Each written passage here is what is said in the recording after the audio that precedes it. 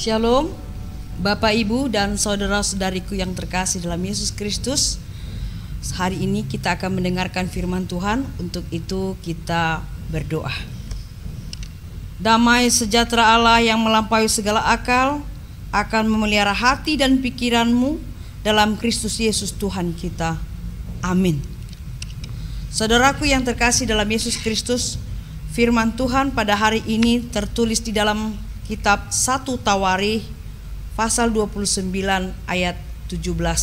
Saya akan bacakan untuk kita. Demikian. Aku tahu ya Allahku bahwa engkau adalah penguji hati dan berkenan kepada keikhlasan.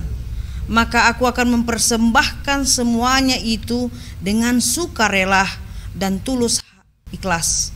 Dan sekarang umatmu yang hadir di sini telah kulihat memberikan persembahan sukarela kepadamu dengan sukacita. Demikian firman Tuhan. Bapak, Ibu, dan saudara-saudariku yang terkasih dalam Yesus Kristus, firman Tuhan pada hari ini berbicara tentang pujian dan rasa syukur Daud kepada Tuhannya yang dia sembah dan yang kasihi dan dia muliakan. Karena Daud adalah seseorang bapa atau seorang pria yang tekun di dalam kehidupannya, dalam doanya, dalam pujiannya. Apa pun dia akan persembahkan kepada Tuhan karena dia tahu adalah Allah itu sangat luar biasa, sangat mulia, agung dan sangat bijaksana dalam memberikan kehidupan kepada Daud. Untuk itu dia mengungkapkan rasa syukur bahkan pujiannya, bahkan persembahannya hanya kepada Allah. Dan dalam nats ini Daud juga ingin mengajak bangsa Israel bukan hanya dirinya sendiri, tetapi dia ingin mengajak semua bangsa Israel wajib hukumnya memberikan persembahan kepada Tuhan sebagai wujud kasih setia Allah kepada mereka. Jadi Daud ingin mengajak menghimpun semuanya hati bangsa Israel untuk memberikan persembahan itu terutama di dalam pembangunan bait Allah karena rasa syukur, rasa pujian itu harus juga diwujud nyatakan di dalam tindakan dan perbuatan. Nah, kita lihat di dalam nats ini ada dua edukasi yang kita terima di dalam cara uh, sikap dan karakter Daud ketika dia memberikan persembahan saudaraku. Pertama, kita melihat di sini dia memberikan persembahannya dengan sikap hati yang memberi. Jadi ketika memberikan persembahan tidak hanya memberikan begitu saja dengan tangan, dengan ucapan atau pujian, dengan suara atau dengan musik, tetapi Daud melihat ketika kita memberikan persembahan, kita juga harus memperhatikan hati kita. Kita harus wajib kita harus melihat, menilik hati kita. Apakah dalam ketika kita memberi persembahan itu adalah betul-betul murni betul-betul dari hati dan jiwa setiap orang yang memberi. Daud mengatakan, "Jikalau memberi kepada Tuhan, sikap hati ini perlu juga kita rasakan dan kita lihat." Dalam memberi itu harus sukarela, tulus, ikhlas, penuh sukacita tanpa ada maksud tersembunyi. Makanya Daud mengatakan, "Selidiki hatimu, lihat hatimu, Perhatikan hatimu, rasakan hatimu. Apakah ketika engkau memberikan persembahanmu, pujianmu atau apa pun itu kepada Tuhan, betul-betulkah dengan sukarela? Betul-betulkah dengan ketulusan hati? Betul-betulkah sudah ikhlas? Betul-betulkah dengan penuh sukacita, tidak dengan ter keterpaksaan? Atau ketika kita memberi adakah something sesuatu di balik dari pemberian itu? Daud betul-betul mengajak kita, mengedukasi kita yang pertama adalah selidiki, lihat hatimu yang paling dalam. Yang kedua, Daud juga mengatakan di dalam memberikan persembahan juga harus diberikan, diperhatikan doa kita ketika kita memberikan persembahan saudaraku. Jadi kita berikan tapi kita harus doakan sebelum kita serahkan persembahan kita atau sesudah kita serahkan persembahan kita, kita harus mendoakan supaya segala sesuatu persembahan yang kita berikan kepada Tuhan itu berkenan kepada Tuhan. Apa pun itu, baik itu materi kita, waktu kita, hati kita, pikiran kita, bahkan juga saudaraku talenta yang ada bagi kita. Banyak talenta, karunia-karunia yang diberikan Tuhan kepada kita. Ternyata itu juga kita berikan. Tapi ketika kita mau memberikan dan setelah memberikan, Daud mengatakan, "Berdoalah dalam setiap persembahanmu yang kau serahkan kepada Tuhanmu." Sama seperti Daud juga berdoa untuk anaknya Salomo agar ketika Salomo anaknya memberikan persembahannya kepada Tuhan juga harus dengan penuh sukarela, tulus, ikhlas, sukacita tanpa ada keraguan di dalam hatinya. Saudaraku yang terkasih dalam Yesus Kristus, ini adalah hal penting. Kedua hal ini adalah penting. Kita wajib memberikan suatu pelajaran kepada anak-anak, kepada generasi kita saat ini. Ketika mereka mempersembahkan apa pun itu, baik talenta mereka, bakat mereka di hadapan Tuhan, bisa mereka bernyanyi, bisa mereka bermusik, bisa mereka menari atau memberikan persembahan dalam ibadah atau kehadiran mereka juga sebagai persembahan kepada Tuhan. Kita juga harus melatih, mendidik, mengedukasi mereka, mengingatkan mereka untuk selalu mereka memberikan persembahannya dengan hati yang tulus, ikhlas, melayani Tuhan, terutama ketika memberikan persembahan. Janganlah memberikan persembahan dengan bersungut-sungut atau bermegah diri.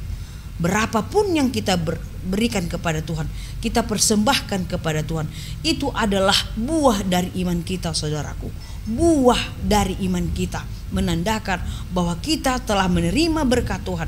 Kita bersyukur atas semua itu dan kita mengucap syukur kepada Tuhan. Lalu kita persembahkanlah itu sebagai buah iman kita bahwa kita bersyukur dan bersukacita di dalam memanjatkan pujian dan doa kita kepada Tuhan. Saudaraku, apa pun itu, serahkanlah dalam keikhlasan, ketulusan, sukacitamu di hadapan Tuhan. Tuhan akan menerima persembahanmu dan akan memberkatinya dengan luar biasa. Karena itulah Tuhan hadir pada saat ini ingin melihat apakah hatimu, pikiranmu, semuanya kau persembahkan kepada Tuhan yang sangat agung itu. Amin. Kita berdoa. Terima kasih Tuhan Yesus buat berkat yang kami terima di dalam kehidupan kami setiap hari. Nats ini telah mengajar kami agar ketika kami memberikan persembahan kami, rasa syukur pujian kami kepada Tuhan harus dengan ikhlas, tulus, sukarela dan berbahagia tanpa ada maksud yang lain agar persembahan kami di hadapanmu menjadi persembahan yang kudus dan mulia. Tuhan berkatilah kami setiap memberikan persembahan kami di mana pun dalam ibadah kami, di rumah kami, dan di mana pun Tuhan tergerak hati kami oleh karena buah dari iman kami. Terimalah menjadi suatu ucapan syukur kami kepada Engkau ya Tuhan kami. Berkati semua jemaatmu, berkati semua hamba-hamba Tuhan yang memberikan hati, pikiran, totalitas pelayanan mereka sebagai ungkapan rasa syukur kepada Tuhan. Terima kasih hanya dalam Yesus Kristus kami berdoa dan mengucap syukur. Anugerah Tuhan Yesus dan kasih Allah dan persekutuan Roh Kudus menyertai kamu sekalian. Amin. Demikian Bapak Ibu dan Saudaraku, ingat selalu tersenyum, jaga prokes, Tuhan akan memberkati kita.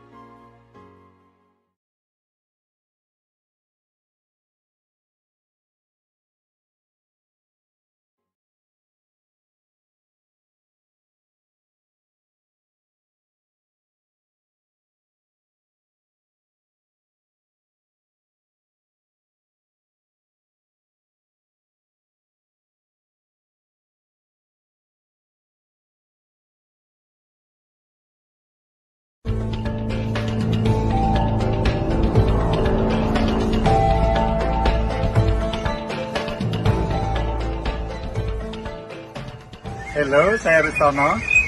Saya pengusaha tempe di Jepang. Saya lahir di Grobogan, Jawa Tengah, dan saat ini saya memiliki dua pabrik, dan salah satunya yang ada di belakang saya. Hari ini kami memproduksi 10.000 bungkus, dan kami mendistribusikan lebih dari 1.000 titik di Jepang. Orang Jepang mulai menyukainya orang-orang dari berbagai negara berkunjung ke Jepang untuk belajar membuat tempe di tempat kami dan sekaligus saya bisa memberi pelatihan kepada mereka untuk memulai usaha di negara mereka masing-masing.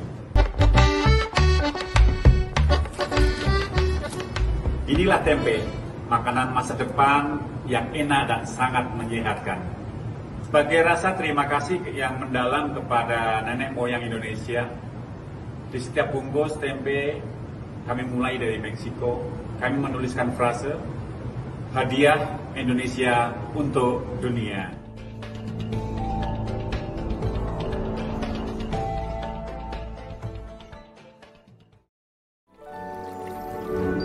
In this country, an Indonesian has made his path, the journey of life, and try to change the world, bringing his uniquely distinctive culture and cuisine. Japan is a beautiful country.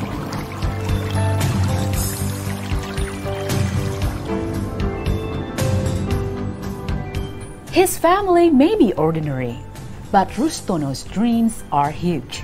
He wants to make people around the world happy through tempeh.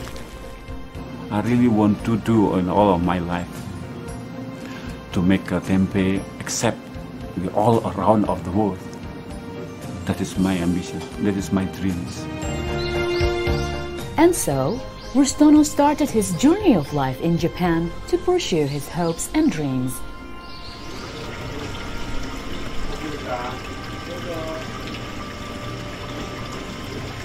And it all started here, in the land of the rising sun.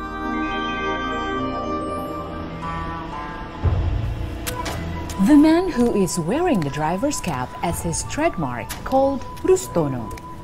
He could be any ordinary man in Indonesia. What makes him different though is where he lives.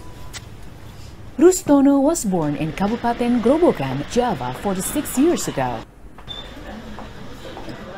With his Japanese wife and two Japan-born daughters, he makes his home in Japan, where elegant and charming homes line the streets.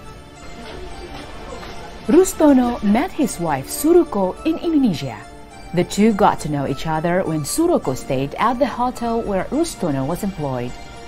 After they were married, Rustono then moved to Suruko's hometown of Kyoto to live. To start from the hotel, uh, when I work in the hotel seven here in Yogyakarta, Indonesia, yeah, I learn many things. Then I meet uh, the guests from Japan, and now become my wife. After a couple of years living in Kyoto, the couple then decided to move to Shiga. The peaceful lifestyle of Shiga has comforted Rustono, enabling him to easily adapt himself as if he was back in his hometown in Java. In Shiga, Rustono started to pursue his dream. They bought a small house and renovated it, turning it into a small tempeh factory. Rustono is producing and promoting tempeh to the Japanese people, bringing something new to Japanese food and culture.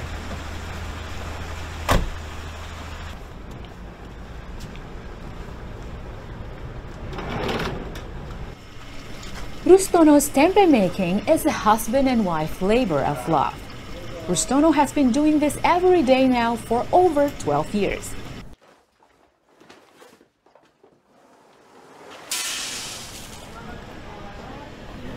Rustono wanted to turn tempeh into a business and popularize it throughout Japan. The marketplace is the Japanese food pantry. Foods from all over the region can be found here. This is where Rustono found the inspiration to start making tempeh in Japan. In Japanese, there are, have uh, tofu, natto, and everything from soybean. So I think in Indonesia we have soybean popular, uh, make it from tempe. So that's the first time that I think it's possible to sell tempe, produce tempe in Japan.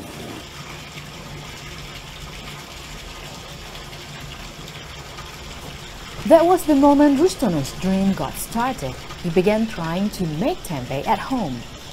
What awaited him, however, was not success but difficulties. He spent day after day in his kitchen trying to come up with the proper way of making tempeh.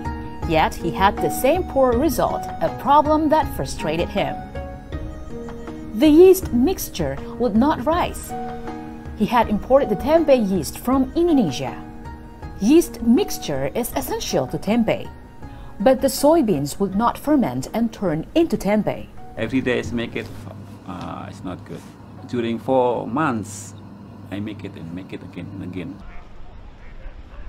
Feeling hopeless due to his repeated failures, yet Rustono refused to give up on his dreams. He tried to figure out other ways to solve his problems in making tempeh he decided to go back to his hometown to seek for help. He studied his way around 60 factories for three months in search of clues to successful tempeh making.